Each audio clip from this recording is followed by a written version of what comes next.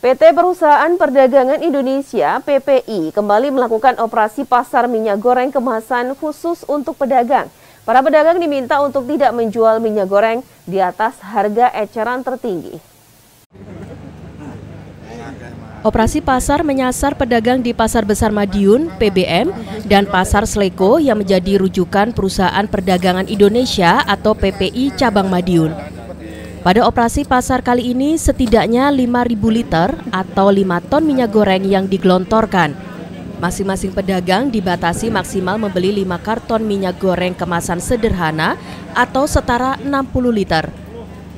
Branch Manager PT PPI Cabang Madiun, Firman Syah Saifullah mengatakan, dari PPI, minyak goreng kemasan sederhana dijual ke pedagang seharga 12.500 per liter. Harapannya pedagang dapat menjual ke masyarakat atau ke konsumen seharga Rp13.500 per liter. Dalam kemasan sederhana sebanyak uh, eh, 5.000 liter. Ya. Ini uh, kemasan ini diperuntukkan untuk para pedagang, ya, para pedagang uh, yang menjadi rujukan dari TPID Kota Madiun, yaitu Kota uh, yaitu pasar besar dan pasar Sleko. Ya. Jadi ini hanya untuk diperuntukkan, peruntukan untuk para pedagang di wilayah di pasar besar dan pasar uh, Sleko saja. Ya, bukan untuk konsumen atau masyarakat.